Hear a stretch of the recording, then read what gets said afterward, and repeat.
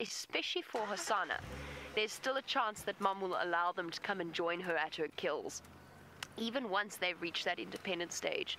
And I say especially Hosanna just because he's more likely to stick around for a little bit longer. But remember that female leopards will never bring food to the cubs.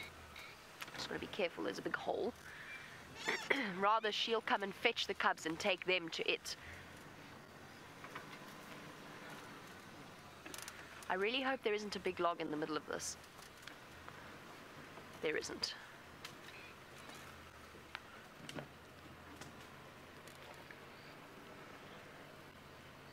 Watch heads.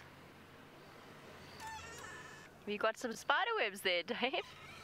I've covered in them. Uh, there's about five different spiders crawling around here.